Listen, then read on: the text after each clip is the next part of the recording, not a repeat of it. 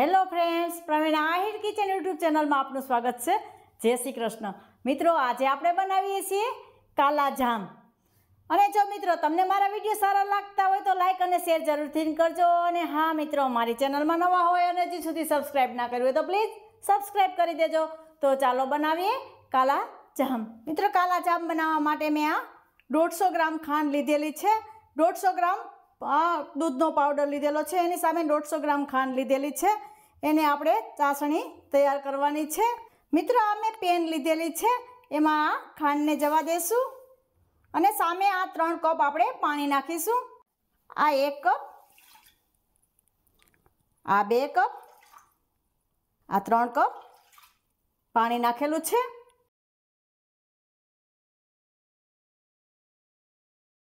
અને એમાં સાતથી આઠ તારને, કેસરના તારને જવા દેશું. અને આપણે આ ચાસણી તૈયાર કરી લેશું. મિત્રો, હવે આપણે આ ખાંડને ઓગાળવાની છે. એક તારની ચાસણી નથી લેવાની, આપણે તેલ જેવી ચિકાસ થાય એટલી જ આપણે આને ચાસણી લેવાની છે.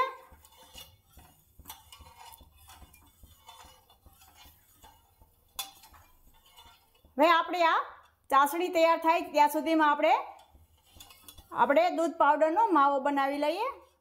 મિત્ર, આપણે ચાસણીને સાઈડના ચૂલા ઉપર જવા દીધી અને આ પેનમાં આપણે માવો બનાવી લેશું.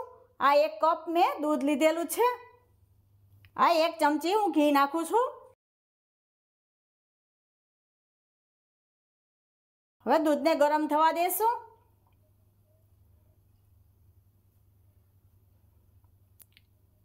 આવી રીતે દૂધને ગરમ થવા દેશું. મિત્ર, આપણું દૂધ ગરમ થઈ ગયું છે.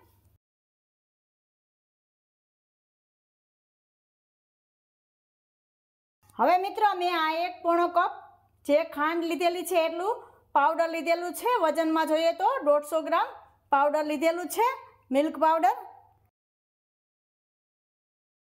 એને આવી રીતે સરસ બધું મિક્સ કરી લેશું અને આમાં આપણે માવો તૈયાર કરી લેશું.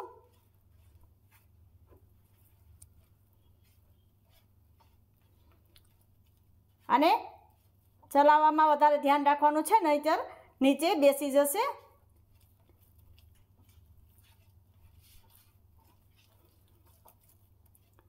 તમે રેડીમેડ માવો લ્યો તો પણ ચાલે. પણ આ માવો આપણે ઘરે બનાવી એકદમ સરસ સોફ્ટ હોય છે. જેથી આપણા કાલાજામ એકદમ મસ્ત બને છે. આવી રીતે આવો માવો બનાવી લેશું. મીડિયમ ફ્લેમ રાખવાની છે આપણે. નીચે બેસે નહીં, નહીંતર પાવડર હોય એટલે જલ્દીથી નીચે બેસી જાય છે.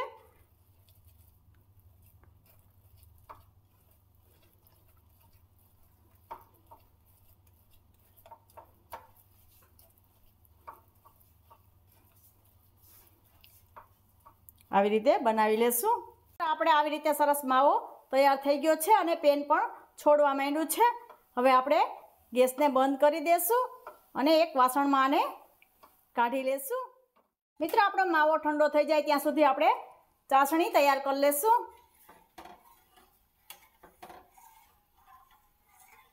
કેસરનો કલર પણ સરસ આપણી ચાસણીમાં આવી ગયો છે.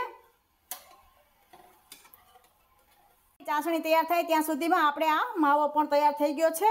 હવે આપણે આને આવી રીતે સરસ મિક્સ કરી દઈશું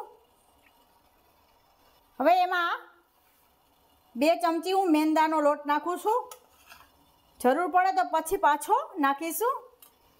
અડધી ચમચી બેકિંગ સોડા નાખું છું. અડધી ચમચી ઇલાયચી પાવડર નાખું છું. અને આપણે આને હાથેથી સરસ મિક્સ કરવાનો છે આવી રીતે.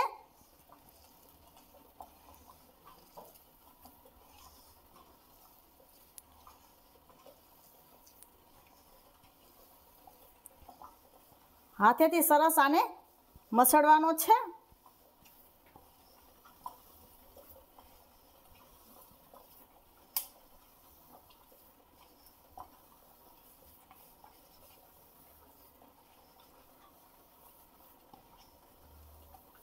આવી રીતે સરસ એકદમ સારી રીતે મસળવાનો છે. આવી રીતે મેં સરસ મસળી લીધેલો છે. હવે આપણે આમાંથી થોડું આપણે થોડું આપણે કાલાજામના સ્ટફિંગ માટે થોડું કાઢી લેશું માવો. આટલો માવો આપણે કાઢી લેશું. આ માવા માટે મેં એક નાનું, આ વાસણ લીધેલું છે, આમાં આપણે સ્ટફિંગ બનાવી લેશું. એના માટે મેં આ બદામની નાના નાના ટુકડા કરી લીધેલા છે. એને જવા દેશું. થોડા કાજુને જવા દેશું. એના પણ મેં બારીક સુધારી લીધેલા છે.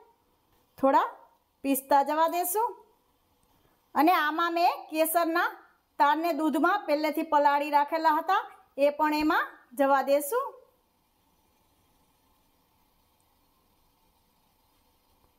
અને એને સારી રીતે મિક્સ કરી લેશું. કેસરનો પણ સરસ કલર આવી ગયો છે આપણો. હવે આપણે આવી રીતે સરસ મિક્સ કરી લેશું. હવે આપણે આના નાના નાના બોલ બનાવી લેશું. આપણે કાલાજામની અંદર રાખવાના છે એ. આવી રીતે.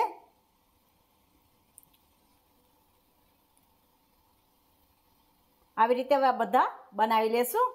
મિત્રો, આવી રીતે મેં બધા બોલ સ્ટફિંગના વાળ લીધેલા છે. આપણે આ કાલાજામ માટેનો આપણે બોલ વારી લેશું. થોડો મોટો વારવાનો છે અને એક પણ ક્રેક ના રહેવી જોઈએ એવી રીતે વારવાનું છે. થોડો ઘીવાળો હાથ કરી લઈએ. તો પણ સરસ. ચાલે? આવી રીતે?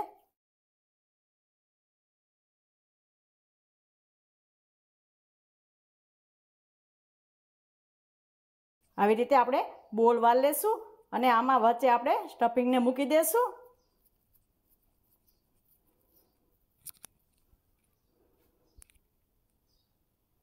આવી રીતે રાખી દેશું.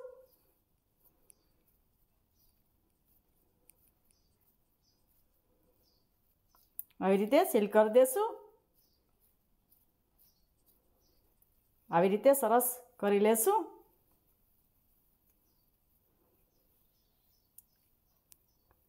આવી રીતે બધા બોલ આપણે તૈયાર કરી લેશું મિત્રો આપણે આવા બધા કાલા જામના બોલ તૈયાર કરી લીધેલા છે મિત્ર તેલ પણ મેં પહેલેથી ગરમ મૂકી દીધેલું છે આપણે જોઈ લેશું તેલને થોડો માવો નાખીને આપણે આટલું જ તેલ રાખવાનું છે. હવે આપણે આ કાઢી લેશું. અને આપણા કાલા જામને તરી લેશું.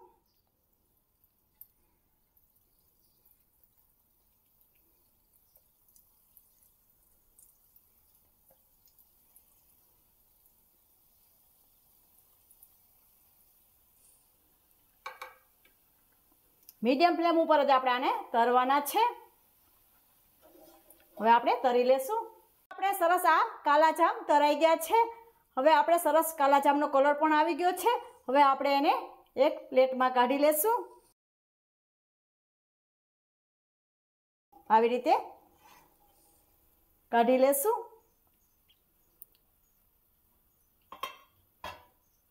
અને ગેસને પણ બંધ કરી દેશું.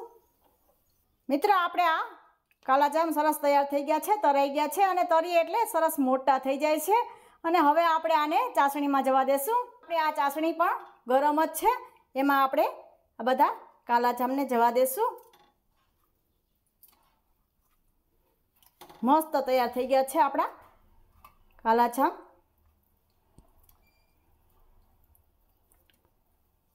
ગેસને બંધ કરેલો છે અને ચાસણી ગરમ જ છે. હવે આવી રીતે આપણે બધા એમાં થવા દેશું. હવે આપણે આને મિત્ર દોઢથી બે કલાક માટે આવી રીતે રહેવા દેવાના છે. ચાસણીમાં જ પછી આપણે આને સર્વ કરીશું. ઢાંકણ ઢાંકીને રાખી દેશું. હવે બે કલાક થઈ ગઈ છે આપણા કાલા જામને. હવે આ સરસ, એકદમ સરસ ફૂલી ગયા છે. હવે આપણે આને એક બાઉલમાં કાઢી લેશું.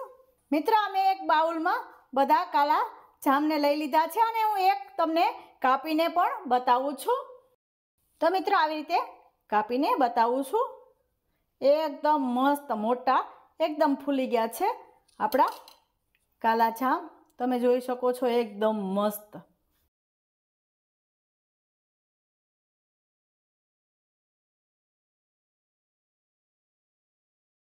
કેટલા મસ્ત આપણા કાલાજામ તૈયાર થઈ ગયા છે. તો મિત્રો, તમને આજની આ કાલાજામની રેસીપી તમને કેવી લાગી એ મને કોમેન્ટ બોક્સમાં જરૂરથી જણાવજો.